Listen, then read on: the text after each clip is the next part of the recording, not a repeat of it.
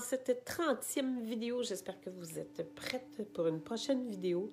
Aujourd'hui, on parle du pouvoir du féminin. Hmm. Vous savez qu'on possède en chacun de nous le côté masculin et le côté féminin.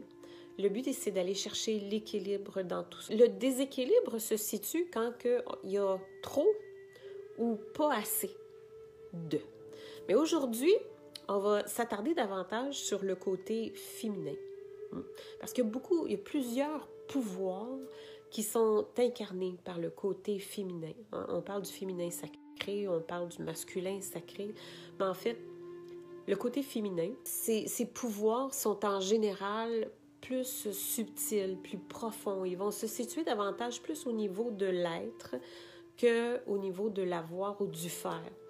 On a juste à penser à le plus grand pouvoir, en fait, du féminin, hein, c'est de créer, de créer, de donner la vie. Hmm.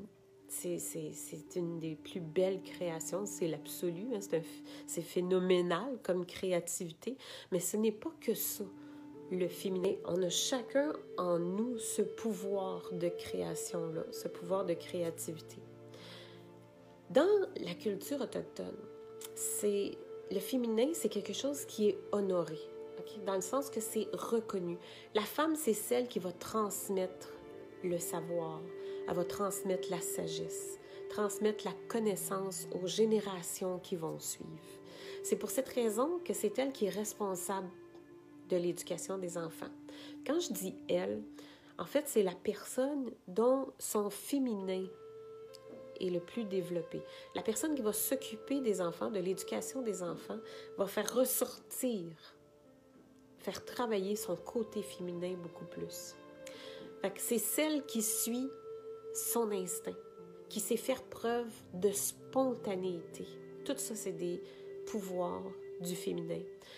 Euh, on va accepter de recevoir. Le féminin, c'est le fait de recevoir, beaucoup plus que de donner. Donner, c'est masculin. On reçoit, on, accueille, hein, on s'ouvre à ce que la vie nous offre. Hein?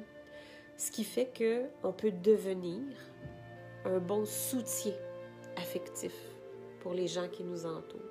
Puis on peut agir avec douceur et sensibilité.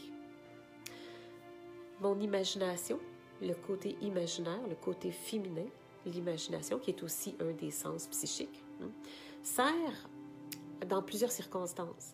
Euh, la vision d'ensemble va permettre de se réajuster, de s'adapter, de pouvoir changer d'idée si c'est nécessaire. Ça aussi, c'est le pouvoir du féminin. C'est aussi ce qui, qui va faire que euh, le côté féminin va aimer euh, être entouré par la présence des autres. Mais le féminin et le masculin en nous se complètent et forment un tout parfait. C'est pour ça qu'on y consacre deux ciels, deux étapes, deux niveaux dans le programme Monter au septième ciel, au féminin et un au masculin.